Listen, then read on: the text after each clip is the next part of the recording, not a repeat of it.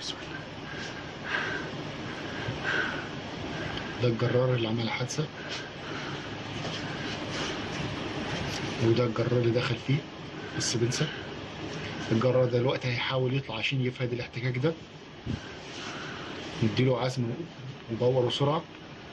الجرار اللي بتاع السبنسر دخل فيه وعمل معاه حشرجة. فوقفه. السواق هينزل دلوقتي من القطر. من جرار عشان يروح يتكلم مع السواق التاني وهما دلوقتي ورا السبنسر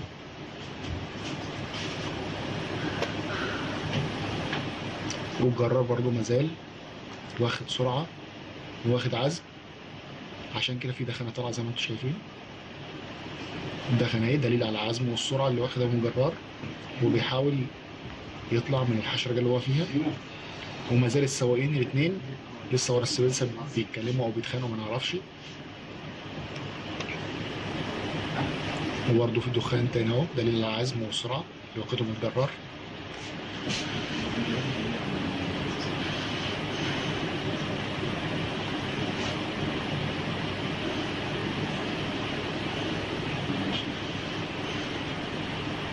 كده الجرار ابتدى يتحرك أهو بعد ما عرف يفلت من من حشرجة الجرار التاني. وكده واخد طريقه ناحية المحطة.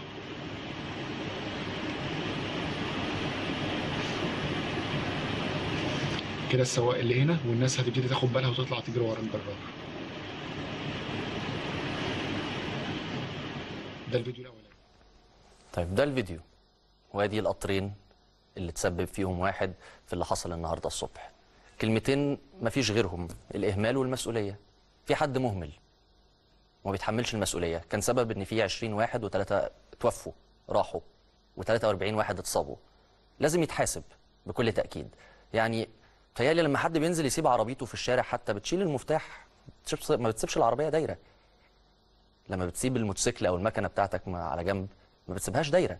فما بالك بقطر في كوبري الليمون أو في محطة مصر؟ أنت سبت القطر داير العاكس سبته موجود مكانه ونزلت تتخانق. وكأنك مش مسؤول عن أرواح أنت مش سايق القطر ده لوحدك. في ناس موجودة في المحطة. بسبب إهمالك والتقاعس عن الإحساس بالمسؤولية انت مش مح مش محولجي قطر قاعد يعني بينك وبين نفسك. في ناس راحت بسبب حضرتك وإن انت نازل تتخانق. وبتهيألي في مسؤولين تقدر تتكلم معاهم لو حصل مشكلة ما بينك وما بين زميلك. لكن إهمالك وهروبك بعد كده من مكان الحادث ومحاولة هروبك لكن السلطات والشرطة قدرت تجيبك. أهملت فراح 20 واحد.